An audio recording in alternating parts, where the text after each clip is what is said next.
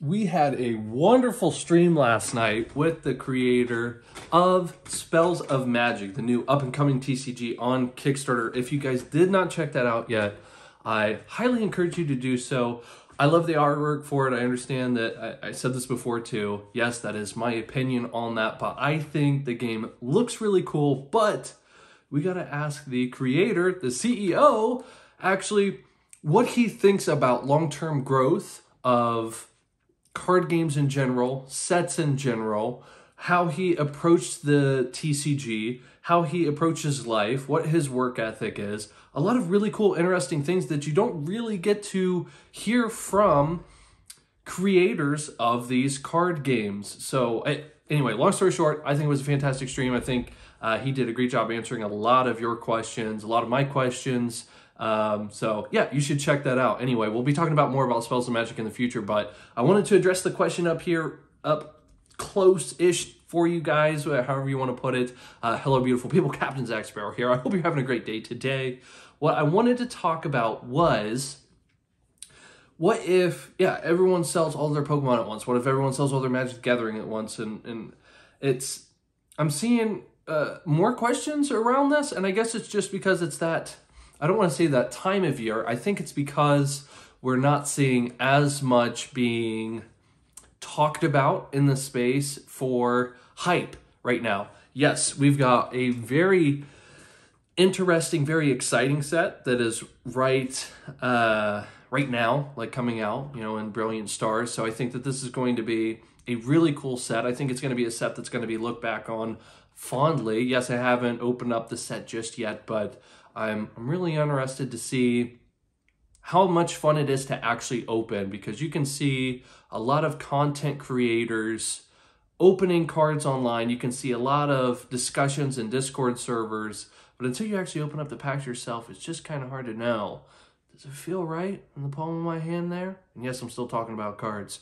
So it just, uh, yeah, I'm, I'm looking forward to a bunch of things here, but I'm I've, I've seen these questions intermittently, and I've seen them a little bit more, and I think people are asking deeper questions now. The average stonker is getting more well versed in the hobby. I guess you could say more people are finding SM Pratt's videos, Pokenomics videos, uh, people who are just more in the know. The people are stumbling upon those videos more. People are thinking deeper. People are understanding markets, how it works. They understand now. Oh, maybe I shouldn't buy this expensive chase card literally day one. Maybe I should wait. Maybe I should wait until like day two. so yeah, I uh, my friends have even gotten smarter um, with the stonkage potential, and they're not even stonkers. They just know now, as opposed to a couple years ago. Oh, yeah, maybe I shouldn't buy all of these stupid, insane pre-order prices. Maybe I should just wait a week or two. Maybe if I just cool my jets a little bit, I'll be okay. So the ultimate question, and here's what I, I love I love to do this. What if everyone sells all their Pokemon cards at once, Zach?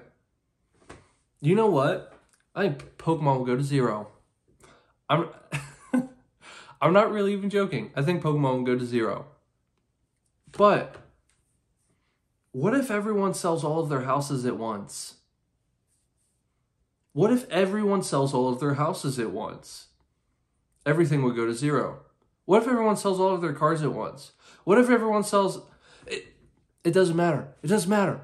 I hate seeing that comment all over the place. Well, what if everyone goes to sell their Pokemon all at once because they're all going to have a great idea that they're all going to want to retire off it. Everyone's a different age. Everyone's at a different place of time. Every everything is a good time to sell. Every time is a good good time to sell. Every time is a good time to pick up pieces and all these different cards for people there's always a right time to sell for a specific person. There's always a wrong time to sell for a specific person. It depends on their needs. It depends on whatever it is that they want to do with that particular set at that particular time in their life. Is that going to be different from your unique situation, you little snowflake? Yes, I think it will be. So, what do I think will happen? Of course, this gets to be more of a stereotypical Captain Zack Sparrow video. I feel like we just haven't done one of these in a little bit here. So, yes, what do I think if everyone sells all of their whatever cards all at once? You know what? it might go to zero if everyone sells at once.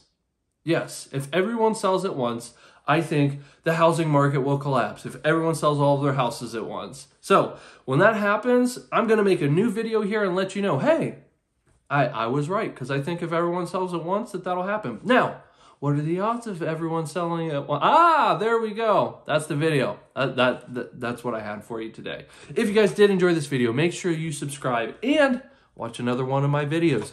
And until next time, thanks so much for watching, gang.